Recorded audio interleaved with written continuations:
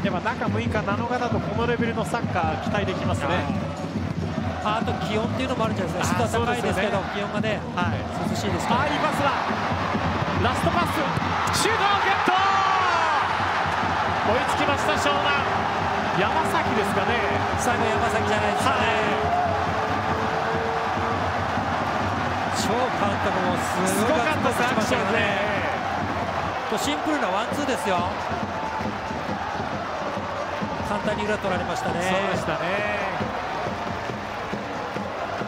まあ、小林が長いランニングしたということがですね最終的にはペナルティーエリアの深いところまで進入できたということですけどね、はい、山根、小林、そうですね。山根があそこの位置にいるわけですからね。よく山崎詰めましたよ。前でねディフェンダー触ってコース変わりましたけど。そうですね